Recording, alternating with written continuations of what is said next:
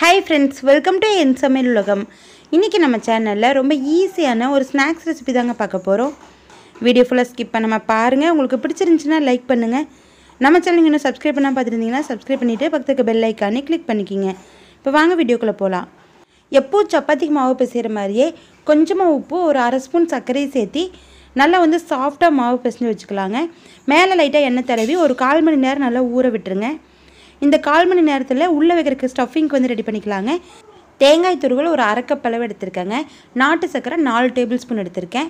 பழம் வந்து கொஞ்சம் பெரிய பெரிய பீஸாக கட் பண்ணி எடுத்துக்கலாங்க. இவ்வளோ தான் தேவை. பேன் நல்லா சூடானதோ நாட்டு சர்க்கரையோ கால் கப் தண்ணியும் சேர்த்து ஒரு கொதி விட்டுறலாங்க. அந்த சர்க்கரையில் கரைஞ்சி நல்லா இந்த மாதிரி கொதிச்சு வரணும். சர்க்கரை பாவு நல்லா ஒரு கொதி வந்ததும் தேங்காய் துருவலை உள்ளே சேர்த்திட்டு நல்லா இந்த மாதிரி கலந்து விட்டுறணுங்க. கொஞ்சம் வந்து அந்த சர்க்கரை பாகு எல்லாமே சுண்டி வரணும். ஒரு ரெண்டு நிமிஷம் நல்லா கலந்து விட்டுறலாம். ஓரளவுக்கு இப்போ தண்ணியெல்லாம் சுண்ணதுக்கப்புறமா பழத்தை வந்து உள்ளே சேர்த்திக்கலாங்க. பழம் சேர்த்துனதுக்கப்புறமும் லோ ஃப்ளேமில் தாங்க இருக்கணும். கொஞ்சம் வந்து கைவிடாமல் கலந்து விட்டுட்டே இருங்க இந்த மாதிரி. தண்ணி வந்து சீக்கிரமே சுண்டிடுங்க நல்லா வந்து பார்த்திங்கன்னா திக்காக வரணும். அந்த சக்கரைப்பாக எல்லாமே நல்லா சுண்டி திக்காக வரணுங்க. அந்த பழம் எல்லாமே வேக வேக நல்லா கனிஞ்சு வந்துடும் இந்த அளவுக்கு திக்காக வந்ததும் ஸ்டவ் ஆஃப் பண்ணிவிட்டு தனியாக ஒரு பவுலில் எடுத்து வச்சுக்கலாம். இப்போ மாவு நல்லா ஊறி இருக்குங்க. எப்பவும் போல் நல்லா வந்து வெடிப்பில்லாமல் ரவுண்டாக உருட்டிக்கணும்.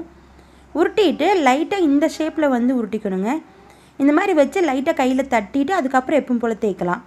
ஷேப் வந்து பார்த்திங்கன்னா இந்த அளவுக்கு தேய்ச்சா போதும். ரவுண்டாக தேய்க்கக்கூடாது இல்லை உங்களுக்கு வேறு ஏதாவது ஷேப் வந்து புதுசாக வேணும் அப்படின்னா நீங்கள் ட்ரை பண்ணிக்கலாம் ஃப்ரெண்ட்ஸ் நான் வந்து இந்த மாதிரி ஷேப்பில் வந்து தேய்ச்சிருக்கேங்க. ஒரு சைடு மட்டும் கொஞ்சம் அகலமாக விட்டுட்டு இன்னொரு சைடு வந்து அதே ஷேப்பில் விட்டுருக்கேன். பெண்ணோட அந்த பேக் சைடில் ரீஃபில்லாக கழட்டிட்டு அந்த சின்ன ஹோல்ஸ் மாதிரி இருக்கும் இல்லைங்களா? அதில் வந்து இந்த மாதிரி சப்பாத்தி மாவில் வச்சு வச்சு ஒரு சின்ன ஹோல்ஸ் மாதிரி போட்டு எடுத்துக்கிறேங்க.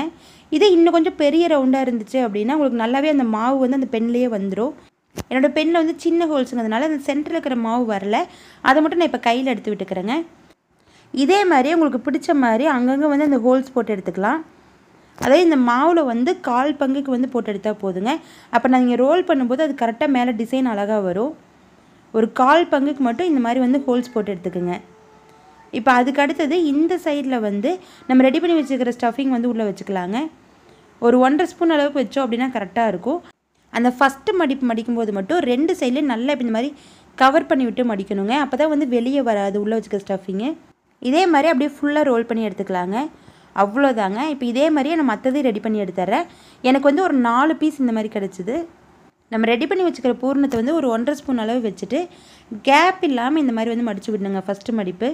அந்த ரெண்டு சைட்லேயுமே வந்து கேப் வரக்கூடாது. அதுக்கப்புறம் இதே மாதிரியே வந்து ஃபுல்லாக மடித்து விட்டுக்கலாங்க. இப்போ இது எல்லாமே ரெடி பண்ணி வச்சாச்சு. இப்போ எண்ணெய் சூடு பண்ணிவிட்டு அதுக்குள்ளே வந்து சேர்த்திக்கலாங்க. எண்ணெய் வந்து கொஞ்சம் மிதமான சூட்டில் இருக்கணும். ரொம்ப வந்து எண்ணெய் சூடாக வேணாங்க. இப்போ அந்த சப்பாத்தி மாவு வந்து உள்ளே வச்சுட்டு ரெண்டு சைடும் வந்து திருப்பி போட்டு வேக வைக்கணுங்க. லோ ஃப்ளேமில் வச்சுக்கணும். ஒரு ரெண்டு தடவை திருப்பி போட்டிங்க அப்படின்னா நல்லா வந்து முருகலாக வெந்து வந்துடுங்க உள்ளே அந்த ஸ்டஃபிங் வந்து பார்த்திங்கன்னா நல்லா இறங்கி இருக்கும். ஒரு சைடு வந்தது இந்த மாதிரி திருப்பி போட்டுடலாங்க ஒரு ரெண்டு ரெண்டு தடவை இந்த மாதிரி திருப்பி போட்டு வேக வச்சு எடுத்துக்கோங்க. அவ்வளோதாங்க நம்முடைய ஸ்நாக்ஸ் ரெடி ஆயிடுச்சு. ரொம்ப சூப்பராக இருக்கும் ஃப்ரெண்ட்ஸ் இப்போ இதே மாதிரியே மிச்சிருக்கிற மாவே போட்டு எடுத்துட்றேங்க. இந்த ஸ்நாக்ஸ் ரொம்பவே ஈஸியாக செஞ்சிடலாங்க. உள்ளே வந்து பார்த்திங்கன்னா ரொம்பவே சாஃப்டாக இருக்கும். அந்த பூர்ணமும் ரொம்ப டேஸ்ட்டாக இருக்குங்க. வெளிப்பக்கம் வந்து நல்லா மொறுமொறுப்பாக இருக்குங்க. கண்டிப்பாக நீங்களும் ட்ரை பண்ணி பாருங்கள் ஃப்ரெண்ட்ஸ் இந்த வீடியோ உங்களுக்கு பிடிச்சிருந்துச்சு அப்படின்னா லைக் பண்ணுங்கள் உங்கள் ஃப்ரெண்ட்ஸ்குள்ளே ஷேர் பண்ணிக்கோங்க. நம்ம சேனலோட வீடியோஸ் நீங்கள் தொடர்ந்து பார்க்கணுன்னா நம்ம சேனலை சப்ஸ்கிரைப் பண்ணி வச்சுக்கோங்க. தேங்க்யூ